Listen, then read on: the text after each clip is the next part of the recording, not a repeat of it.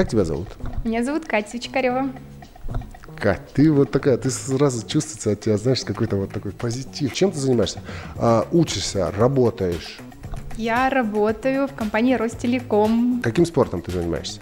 Волейбол. В основном волейбол, но в принципе занимаюсь и бегаю, и плаваю, и катаюсь на велосипеде, и на сноуборде. В общем, все, чем придется.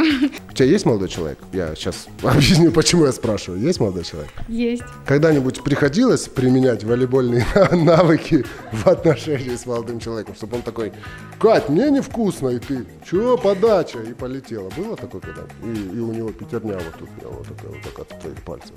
Ну, нет, именно такого не было, но мы с ним познакомились на волейболе, поэтому я боюсь делать так. А, он тоже волейболист? То есть, если что, может в обратную прилететь. Как ты узнала о конкурсе? Вообще о конкурсе я узнала как раз-таки, когда сидела на работе, и мне коллега сказала, что Катя, там есть такой конкурс, ты должна, ты должна там быть. Но я подала заявку, чтобы коллега успокоилась, и когда поняла, что меня приняли, поняла, что это мое, это надо. Раньше, когда я была в восьмом классе, я решила покраситься в блондинку. Родители, в принципе, были не против, и я решила осуществить свою мечту. Конечно приколы эти издевательства, что блондинки же глупые, но недалекие, и все в этом духе. И тут мне в голову пришла мысль, что надо рушить стереотипы. В итоге закончила я школу с медалью и университет с красным дипломом. И одно из моих увлечений — это гитара. Вот хотела бы вам продемонстрировать.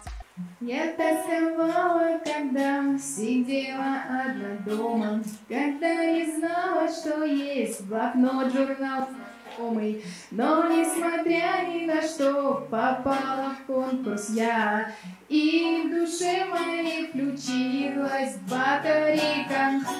Ой-ой-ой, батарейка. Ой-ой-ой,